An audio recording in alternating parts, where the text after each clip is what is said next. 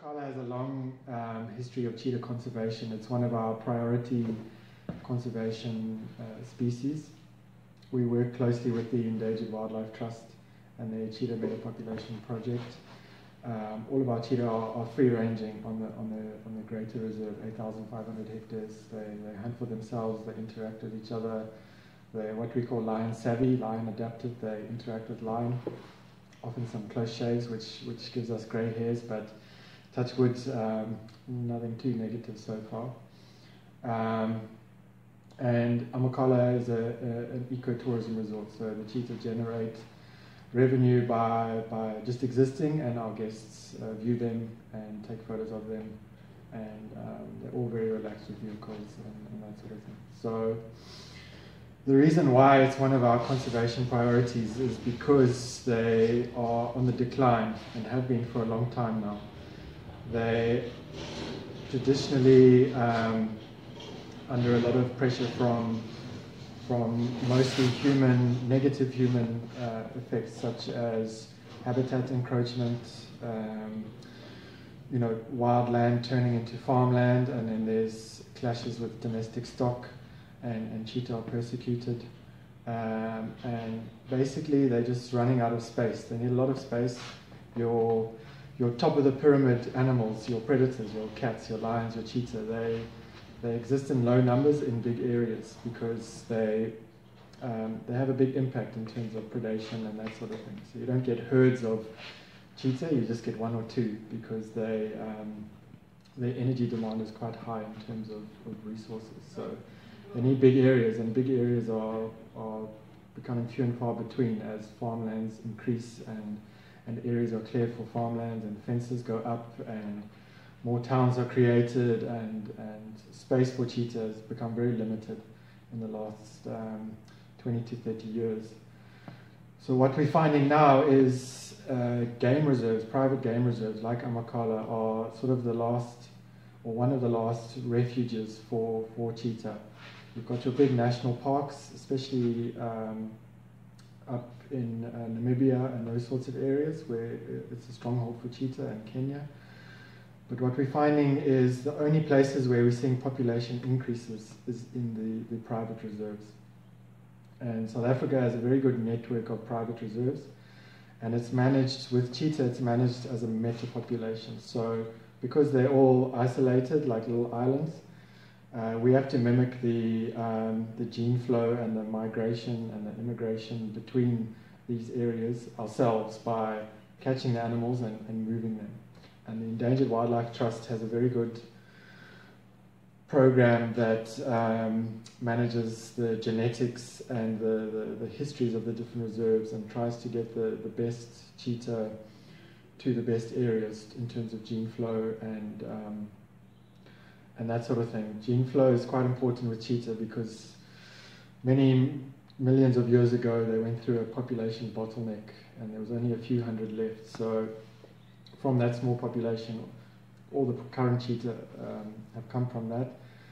They say they are as related as identical twins. All cheetah everywhere are as related as human identical twins. So you have to make sure that the genes, you try and uh, incorporate as much diversity in your cheetah population so they can withstand changes in the environment and they're, and they're tougher in the long run. So that's where the, the EWT has played a key role in, is in managing the genetics and also just assisting the, the, the private reserves when they have cheetah available um, is to is to match them those cheetah with the, the best uh, introduction location.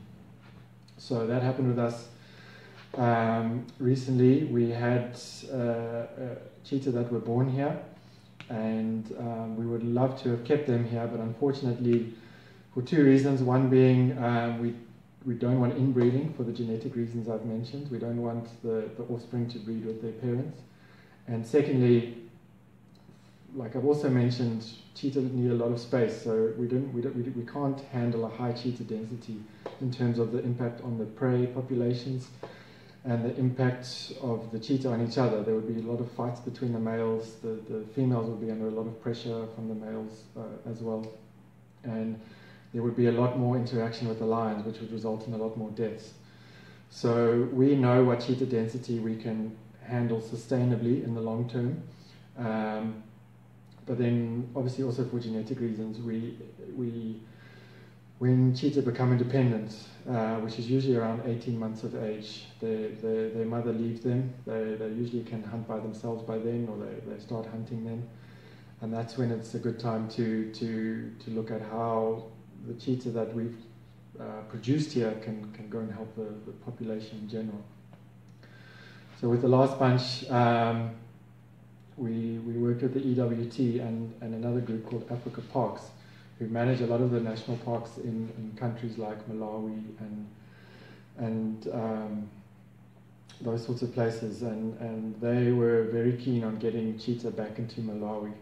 And it sounded like such a, a cool idea to reintroduce cheetah to, to a country, to an area where they haven't been for, for, for decades from persecution from, from people, you know. So Africa Parks have managed to get the national parks up to a state where the cheetah would be able to, to exist again. Um, so yeah, we sent a female up there, and um, and she was one of the first ones out of out of the, the, the, half a dozen or so that they sent up there. She she had her cubs first, so we were quite proud of that. And and since then, other females have had cubs there, and they, and their population is, is doing really well there prior to that, in um, 2013, we actually, within South Africa, uh, cheetah that were, were born on Amakhala uh, were reintroduced to the Free State province, to a, to a, a big uh, reserve up there, and they became the first free roaming cheetah in the Free State in over 100 years. So it's sort of, you know, we started locally within South Africa, recolonizing areas with, with wild free roaming cheetah, and, and we sort of grew internationally, and we're, and we're quite proud of that. Looking forward, um, we just want to keep being a source population of wild, free roaming, lion savvy cheetah um, that can go on to either recolonize or augment existing populations of cheetah um, within and, and, outside of South Africa. Um, so we will work closely with the EWT. We, we currently have adult cheetah with very, um, very good genetic combination, very distinct genetics from some uh, Namibian background and some with a, a more sort of East African background that together are creating really strong um, gene lines, really strong cats that um, will go on to, to hopefully add to the population for decades to come.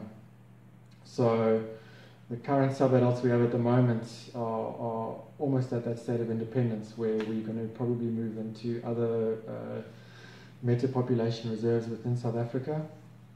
Um, again, working with the EWT on that. So yeah, we just want to continue to be a, a source population of strong, healthy cheetah that um, are just adding to the, the, the entire population and hopefully going to turn the decline of, of cheetah numbers globally into, into an increase.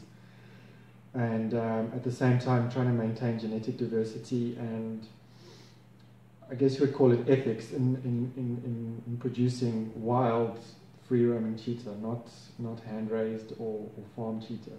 These animals are, are born wild and they stay wild. So um, that is our, our conservation goal with regards to cheetah.